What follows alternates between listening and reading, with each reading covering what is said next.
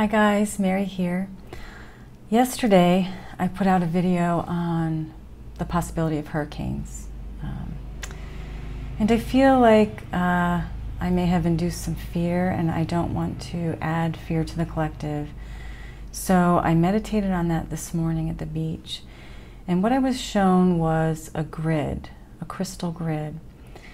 A couple years back, I was watching Amanda Ellis and she suggested crystal grids as a way of um, empowering yourself um, in case of any natural disasters or anything of that nature. And I did. I built a crystal grid for each hurricane, Hurricane Irma and Maria. And um, so I'm going to show you the crystal grid that I built. And um, the most important thing here is your intention. So you want to put your intention into your grid. And it doesn't have to be anything um, spectacular. you can use what you have around your house. Um, I happen to have amethyst crystals. So um, these little amethyst crystals. And I, am using these um, selenite wands. So I built a grid in a square because the square is um, all about foundation. And I have, I'm going to show you, before I lift up this grid, because it's kind of heavy, I've written the word safety. And I put this just in the center of my grid. And I'll show you, you know, I'll put the camera down a little. Okay, so this is my grid.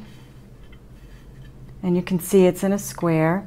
And I have the each amethyst um, uh, at the corner of the square and then each um, selenite wand creating a square. And then I have the in the middle a taller crystal.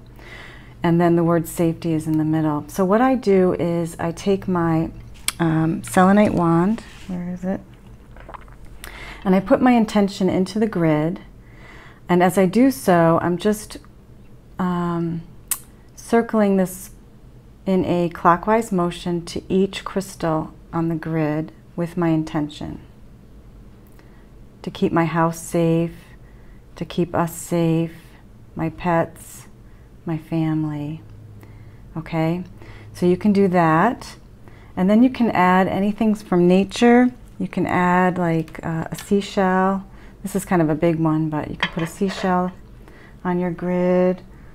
You can put like a feather on your grid, anything that you choose.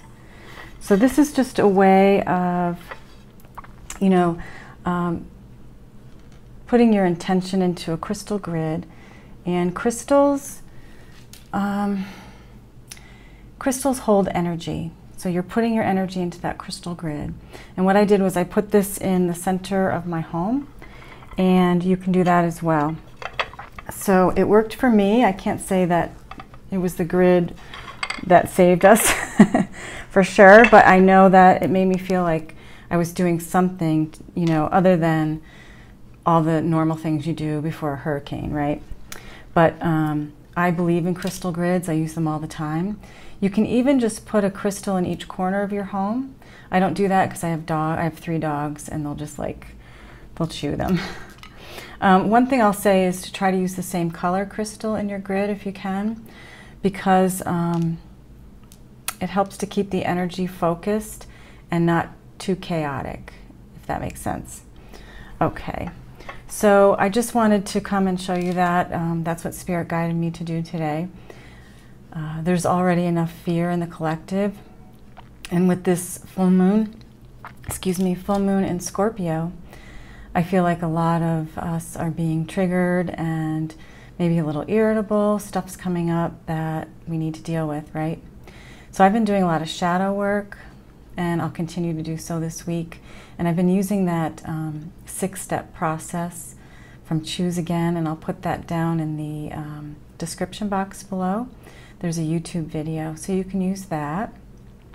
Um, and of course, I, I use the 12-step program, and step four is, is similar.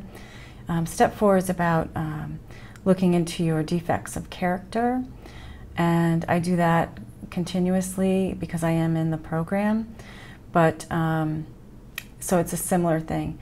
You don't want to, shall I say, sweep these things under the rug. They need to be dealt with so that you can purge it and bring more light into, into your vessel and into your um, emotional body. Let's see. Oh, I wanted to mention that it's no coincidence that the what's going on with the women's rights in this country. It's the fear. So I'm going to try to explain this. As we awaken and the light is shining brighter and brighter and we're waking up as a collective, the darker energies that are there are, I guess, in fear. And so you're going to find that these energies are going to rise up because they're afraid of the light.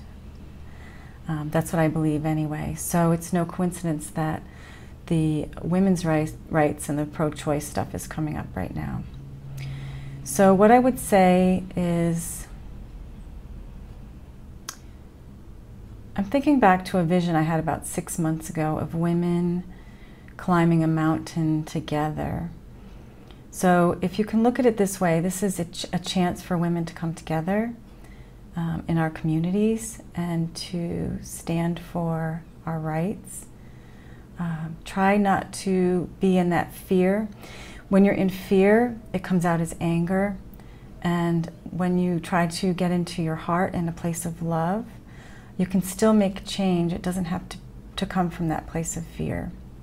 So work with your communities, try to gather together and make positive um, steps towards change if that's, if that's something that you're passionate about. Um, let me see if there's anything else. I write notes on my little whiteboard so I don't forget anything.